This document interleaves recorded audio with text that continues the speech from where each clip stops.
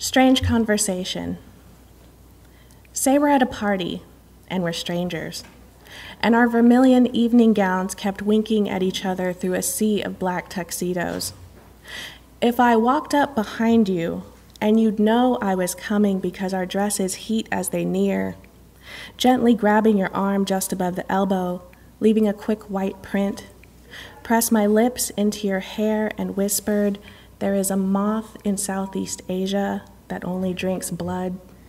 You'd never speak to me, would you?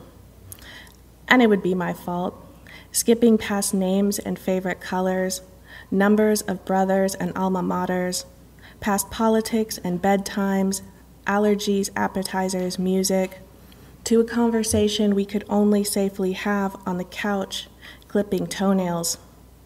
Why, I need to know. How desperate did this moth have to be to evolve this way? Was the garden so empty of color that he pushed his proboscis into anything until he found red? Terminal uniqueness.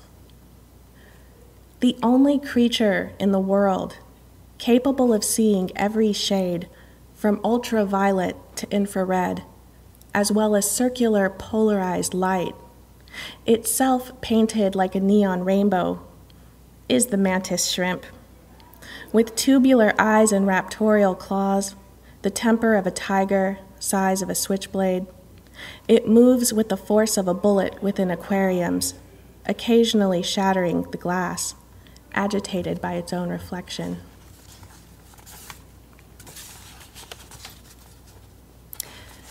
The bowerbird is not an artist. He collects the color blue, pen caps, paper clips, beetle skeletons, a lost clip on earring, torn corner of a waterlogged postcard, one side, the sky, the other, my Audrey.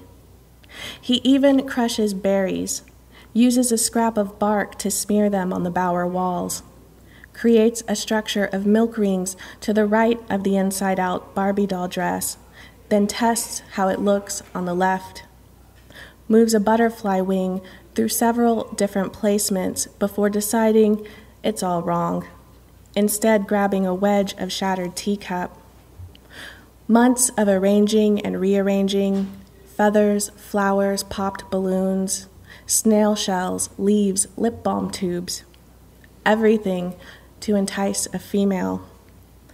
And after she has inspected the bower, tasted the paint, once she consents, he does not care if her hopping about knocks a dragonfly from the wall, that the milk rings are now haphazard.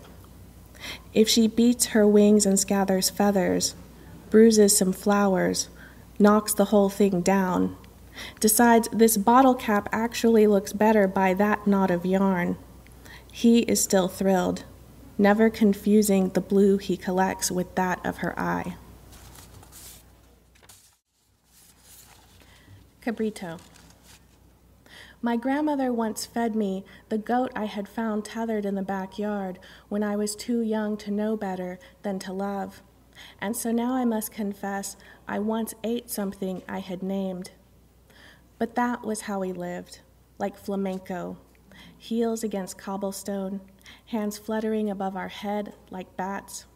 We could eat bats, we could eat cobblestone. We could saute guitar and squill down regret and skin mice if we had to. My grandmother would never let me go hungry.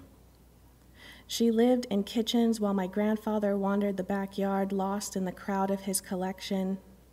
Chicken coops and rabbit hutches erected like tiny skyscrapers.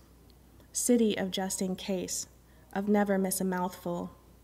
Feeding the beaks birdseed, thrown like rice, a wedding every day, every day a celebration of meat, and the meat would sing, cry, cluck quietly to itself, bob its head, small head, easy to kiss, soft against the lips.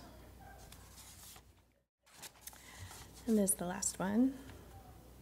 When choosing the perfect pet, leave the pet store.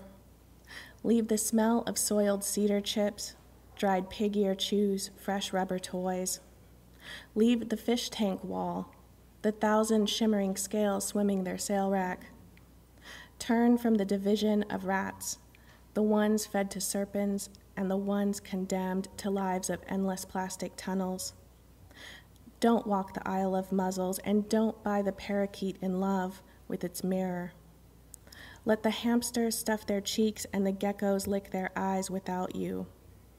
Walk out as night chases the streets empty of all but the orphaned and feral.